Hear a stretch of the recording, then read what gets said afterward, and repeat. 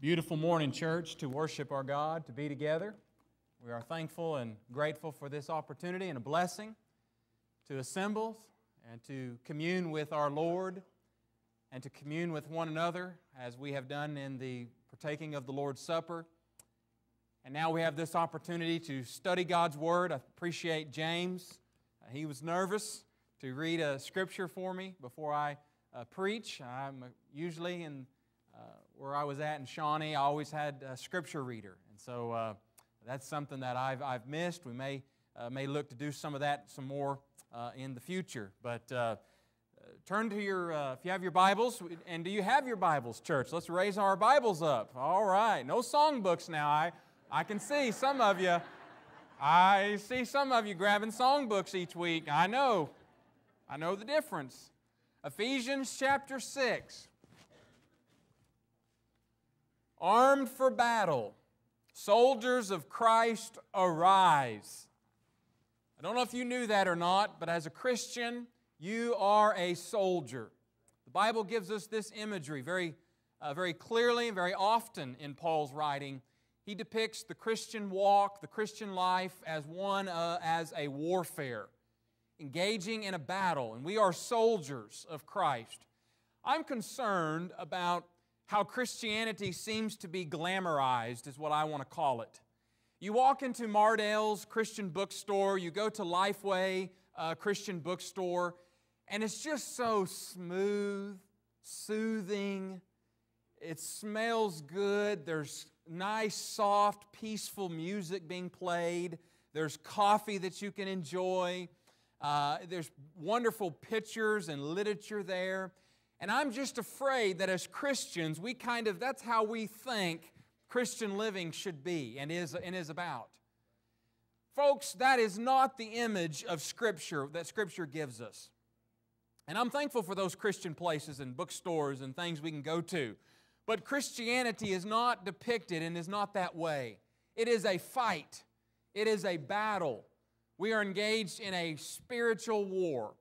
And I'm excited this morning to begin a new series that, that I'm calling Armed for Battle. We're going to be looking at the next several weeks, primarily here in Ephesians chapter 6, 10 through 18. The passage here that, as Paul concludes his letter to the Ephesian, uh, to the Christians at Ephesus, he wants them to know something. He wants them to be aware of a very, in, very, a very intense reality. He wants them to understand that as they live for the Lord, as they serve Jesus Christ, as they live out their faith, He wants them to realize that there is an intense battle that's going on. We are engaged as Christians in a very intense war for our souls, for our hearts and minds, for our, for our souls. And this is what Paul wants them to realize. He wants them to keep that in mind uh, as they live out their life. That the reality is that just below the, the calm surface of our day to day existence, we are engaged every day in a very intense battle. And it's this battle that I want to speak about over the next several weeks as we think about being armed for this conflict, being armed for the battle that Paul gives us here uh, particularly in Ephesians chapter 6 here. So we're going to spend a few weeks on this. So uh, this won't be one or two weeks. We'll spend several weeks looking at, at this uh, incredible uh, passage. And Paul, I want us to think about a couple of things here as we kind of kind of introduce this this morning. We're going to only look going to look at the first uh, verses 10 through 13 of Ephesians 6, but Paul wants us to understand a couple of things here. The first is we need to understand about this battle, this, the nature of our struggle. Paul wants us to understand the intensity here of this struggle. And he uses a word here. He says there in Ephesians chapter 6 and verse 12, he says, Our struggle is not against flesh and blood, but against the rulers, against the authorities, against the powers of this dark world, against the spiritual forces of evil in the heavenly places. Paul uses this word, this Greek word that we have translated struggle. And Paul had at his discretion a number of Greek words that he could have used. And I believe, supernaturally inspired by the Holy Spirit, he used this word. And this word is interesting, the word that he gives us here. It's a word that describes the conflict as being a close quarters fight, a hand to hand type of a battle. Paul uses that imagery here that he wants us to understand about the nature of this conflict to help us understand this. It's, it's like hand to hand battle. You know, there are a lot of ways to engage in warfare.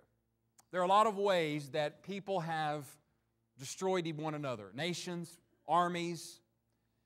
And I think we're at the point in our time, in our world, especially as America, where because of the technology, we're able to fight war and battles kind of from a distance. I mean, we're able to come in with, with, with, uh, with bombs, and uh, I mean, we're just able to kind of fight it from a distance a little bit. We're not a lot of times able to get up close, look in the eyes of our, of our enemy, kind of feel their breath, kind of feel them, their presence there right in front of us. And Paul wants us to understand that that's, that's not what we're dealing with. This is a very intense, very personal uh, battle, conflict, close quarters fight that we're engaged in. I don't remember, know if you've seen the movie Saving Private Ryan. It's one of the most intense movies I've ever seen. It's not a movie for children uh, in no sense of the, the, the word. Uh, this movie won a number of Oscars for its depiction of the kind of realism uh, in the, uh, the landing of, of Normandy in World War II. And it tells the story that I don't want to get into all the details of, uh, of, a, of, a, unit that's sent to look for a private who's lost uh, uh, uh several brothers have, had, have died in the conflict, and they're, they're sent in to get him out of there and send him home. But in that story, if you remember towards the end of that movie, they're, they're, they're, they, they have to secure a bridge. There's an incoming large German force that's coming in. They're at this little uh, worn, ravaged, uh, destroyed city, town, and they're held up there, and they have a smaller group there. And uh, this large German force is coming uh, at them to this city. And so they're outnumbered, they're outmanned, and so they begin to kind of place themselves strategically around the city, if you remember the, the town. And there's one guy that has, uh, he's a uh, machine gunner, and he's positioned up high where he has a good view and good position to fire. And uh, basically, as the, the, the, conflict begins there in that part of the movie, uh, they're outnumbered, they're outgunned, and uh, particularly that guy up high on the machine gun, he's up in an attic building, uh, he runs out of ammunition. And if you remember the movie, there's a, a, a single German soldier that comes up there, and they, they meet each other in that room, and they are in a hand to hand fight. It, it's one of the most vivid intense scenes I've ever seen in a movie. And matter of fact, when I watch that movie from time to time, I'll just usually fast forward through that part, some of that. It's so intense what happens in that scene if you've seen that movie. Up close, hand to hand battle. Church, that's what we're engaged in here. We're not in some sort of glamorized, soft, from a distance conflict. We're engaged in a close quarters, hand to hand fight spiritually for our life every day, every single day. And Paul wants us to understand that as he describes uh, the intensity of this, of this battle. And he also tells us about our enemy. He says here that in verse 12, we're up against, our, our struggle is not against flesh and blood, but against the rulers, against the authorities, against the powers of this dark world, and against the spiritual forces of evil in the heavenly realms. This intense fight that we're involved in is against cosmic, cosmic intelligences. We are facing a spiritual foe, a spiritual enemy. And he describes them here as the rulers, the powers of the, the, this dark world.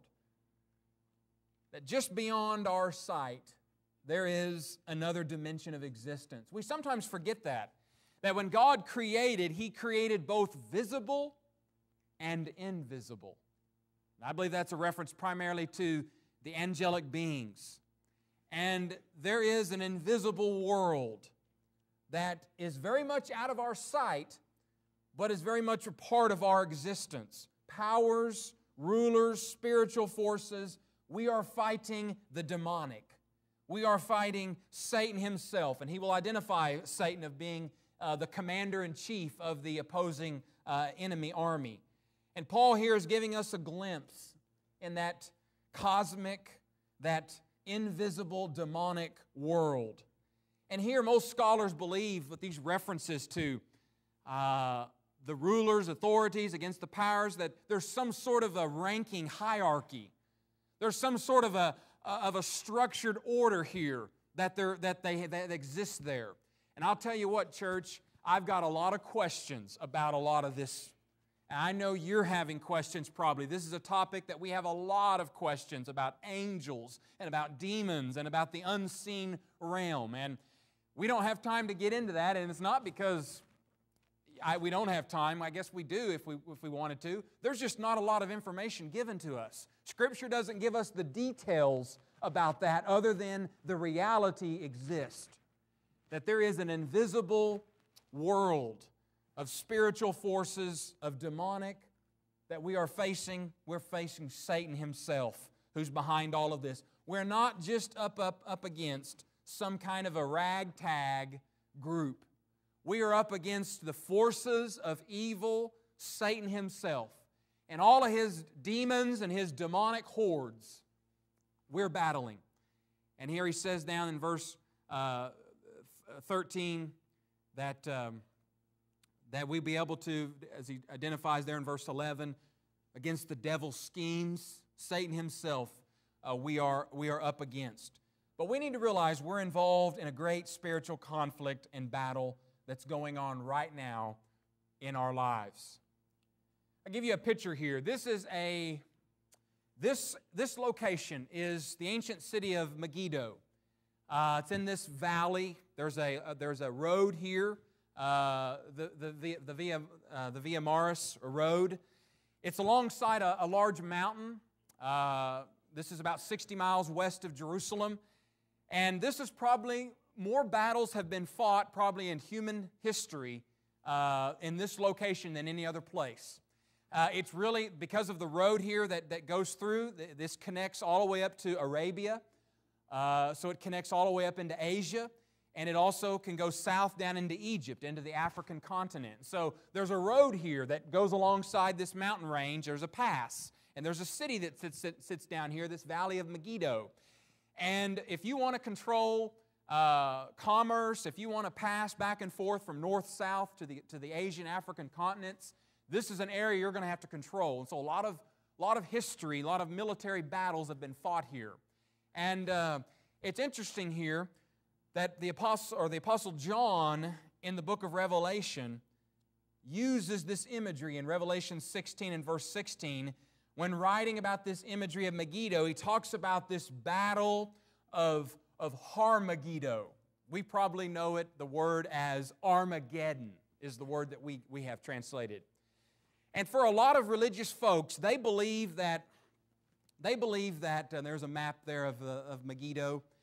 They believe that the Battle of Armageddon is some future battle. It'll be the very final battle uh, before the end time between the forces of good and the forces of evil, and it's some future battle. Let me tell you something that's not found in Scripture. We are in that battle right now. We are in that battle of Armageddon. We are in that conflict between the forces of God and those of Satan that would influence us for, uh, for His will. We're up against cosmic spiritual forces. We're in a very real fight, not for real estate, but for our souls and for eternity. And so Paul here talks about the enemy here, and I wish I could answer all the questions you have. What's, what's Satan's background? What's his origin? What about all of his demons? What are they doing right now? How are they influencing and tempting us? And all kinds of questions that we have. I have those kinds of questions. The Bible doesn't give us all of the details. But here's what the Bible does tell us, as we'll mention in just a minute. It is going to tell us the tactics of, the, of our enemy and how he comes at us. But it tells us the reality of what we're facing and what we're in. And secondly, though, it tells us about the nature of our orders, what God wants us to do in this battle. He gives us the nature of our orders. If you'll look at this word, stand firm, this phrase, stand firm. It's found three times here. Those are our orders. He tells us three times finally, be strong in the Lord and His might. Put on the full armor of God so that you can take your stand against the devil's schemes. Uh, verse 13 Therefore, put on the full armor of God when the day of evil comes, so that you may be able to stand your ground. And after you have done everything, to stand. What's our orders in this battle? To stand firm, to hold our position at any cost. That's what he says. It's a military word here. Once again, doesn't surprise us with the imagery that Paul is giving us here. It's a military word. That's what God is telling us to do. When the battle is raging, when it's at its fiercest moment, if we're going to survive, we've got to stand. We've got to hold our position. We've got to, to be victorious in Jesus. There is a historical, those who study and love to go visit the uh, Civil War uh, locations in our country, and lo- I love to study history and and read about history, and particularly in military and battles that have been fought in our country. Of course, the Civil War. And there is a place that is uh, on the Tennessee River. It's near Pittsburgh Landing. Uh, it's near Savannah, Tennessee. And it was one of the most early critical battles that were fought in the Civil War between the North and the South. Uh, it's the, the, Battle of Shiloh. And it's a fascinating story. Uh, Shiloh, it gets its name. There was a log cabin Methodist church there where this battle is going to be, in, where the battle ensued around there. And it, it, unfolded and it was very important for the course of our country. Uh, in that spring of 1862 of April, uh, the, uh, the Union General, Ulysses S. Grant, uh, had an army of 40,000 men that were camped uh, not too far from this area on the west side of the Tennessee River. And on their way to meet uh, General Grant's army was another general, a two star general, uh, General, uh, general Don Carlos Bales. Uh, Buells, I'm sorry, Buell. And just, and just near that area, just south of that area, the, the South had their army. There was an army there led by a general of the Southern Army that wanted to kind of catch, catch off guard uh, Grant's forces. And so they, they marched uh, quickly. Uh, they knew reinforcements were coming uh, to Grant's army. And so the Confederate army was led by General Albert Sidney uh, Johnston, who wanted to kind of get there before those, uh, that other force, Union Army of, of Buell's force, arrived to reinforce Bale. Buell's army reinforced Grant's. And so they wanted to march, and they marched from uh, Corinth, Mississippi, and they got there before the merger of those two forces, and they caught them off guard. And it was on a Sunday morning, uh, and it was not too far from that log cabin Methodist church when uh, the guns started to, uh, to blaze. And uh, they caught the, the Union forces uh, off guard, and they pushed them back. And there was some, some woods there, and they, they, they began to flee. Uh, they began to retreat uh, because they were overwhelmed. They were surprised by the, uh, by the uh, uh, Confederate uh, army. And so they went off into this. There was this little wagon road not too far from that area. And there was kind of down in a little ditch where the road was kind of sunken down. And there was a brigadier general, Benjamin Prentiss, who was there at, at, command of those men. They were kind of pieced together from different uh, units that had been kind of staggered from that surprise attack from the uh, Confederates.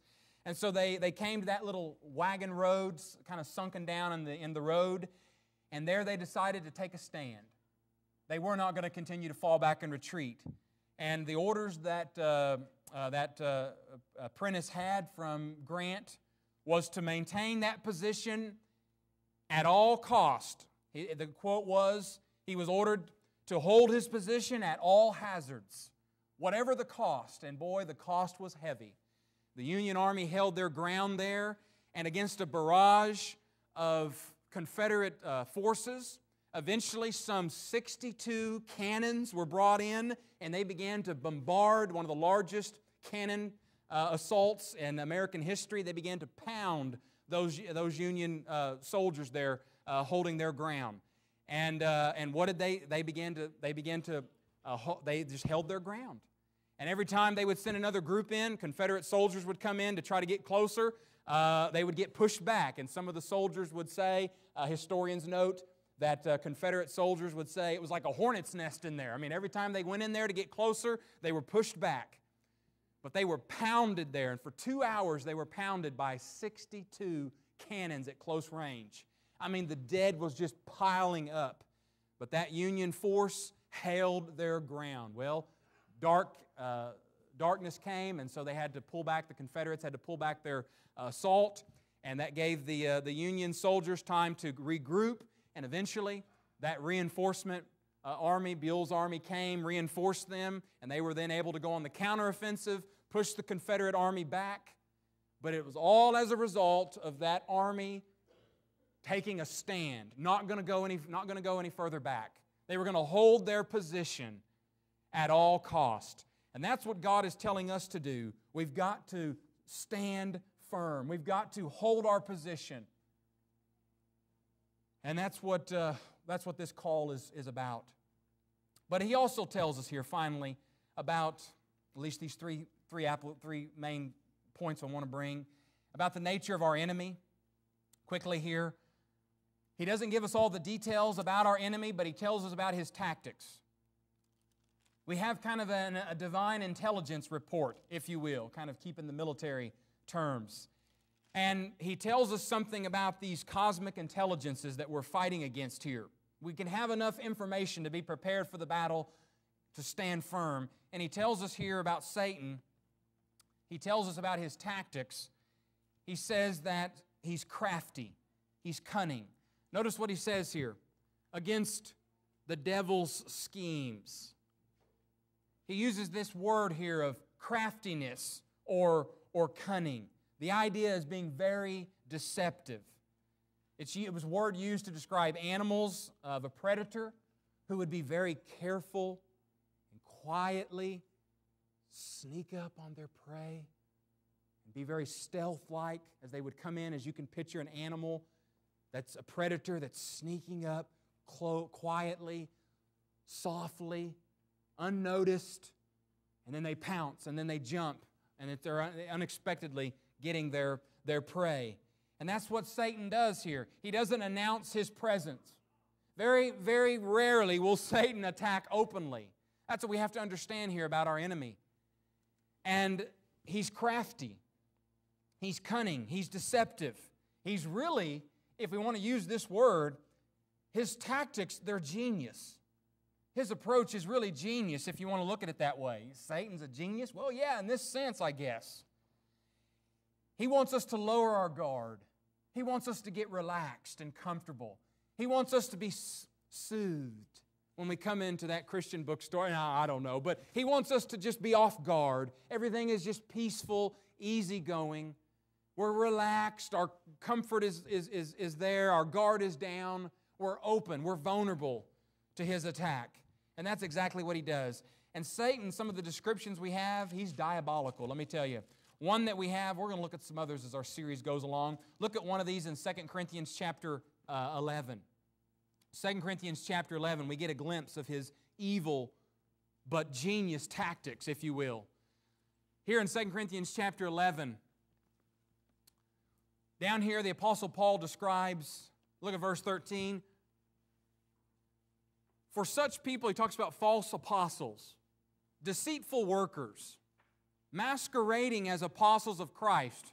And then he says in verse 14 of 2 Corinthians 11, and no wonder, for Satan himself masquerades as servants of righteousness. Their end will be what their actions deserve. That's incredible. That's a genius tactic wise. Satan himself disguises himself as an angel of light. There are people, there are Christians who, whenever they see anything that looks good and holy and wholesome and righteous, and they think, boy, that must be true, watch out. because Satan could be behind that, masquerading as an angel of light. You might hear me say some of this, and you might hear me say this and think, Robert, boy, you're almost saying we've got to be on the edge of our seat every day as we live our Christian life. If you're hearing me say that, you're getting the point because that's exactly what I'm saying. We cannot let our guard down. We've got to, in that sense, kind of be always on the edge of our, of our spiritual life.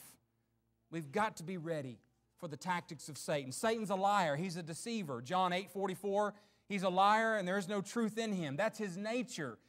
Everything he does is about deception and falsehood. He's a liar. And he disguises himself as an angel of light. He will mix, listen to me, he will mix truth with error. He will mix that which is holy with that which is unholy. He'll mix them together. He'll deceive us. He'll get us thinking. He'll camouflage it. So we got to be we got to be open to his attack. We've got to be open to his attack. Let me give you two spiritual helps. And the lesson will be yours here. Two spiritual helps. I don't think I put these on the slide, so let me give them to you here. The first is you need to think about Satan every day. Every day of your life, you need to think about Satan. I don't know if you've ever had a preacher get up and tell you to think about Satan every day. I'll be the, if you haven't, I'll be the first one. You've been encouraged, as I will encourage you, to think about God every day, His Word, the blessings of God, His love, His grace, His mercy, His power, all of those things you need to have a part of your daily thought process. Let me add one to your thought process Satan. We need to be thinking about Satan. I think that's what Peter gets at in 1 Peter 5 and verse 8 when he says, Be alert, be sober. Your enemy, the devil, goes around like a roaring lion. He's seeking someone to devour. That tells us you better be on the edge of your seat spiritually. You better be alert. You better be looking because Satan's there. He's ready to pounce. Let me give you a real uh, example of this that I, we may not think about. In Matthew chapter 16, real quick. Matthew chapter 16, you know this story is where Jesus announces he's going to build his church based upon the, the truth of the confession that Peter made that Jesus is the Christ, the Son of God. And remember, Jesus says that even the forces of Satan will not be able to prevail, will not be able to stop his, uh, his kingdom from, from being established and advancing. And you remember, it's in this context that Jesus predicts his death to the apostles. And you remember what happens in verse 21 and 22? He tells them how he must suffer and die and be killed and be raised on the third day. Verse 22 Peter took him aside and began to rebuke him, saying, Never, Lord, this shall never happen to you. Do you remember what? Look at verse 23 of Matthew 16. Look at Jesus' response to Peter Get behind me, Satan. It's, it's amazing. It's genius. Satan used Peter, who was just kind of an unwitting pawn. He came at Jesus, Peter did, with compassion, with care, with love, with concern for Jesus. Jesus, this is not going to happen to you. We're never going to let this happen to you. And all the while, that's Satan working. And Jesus recognized it.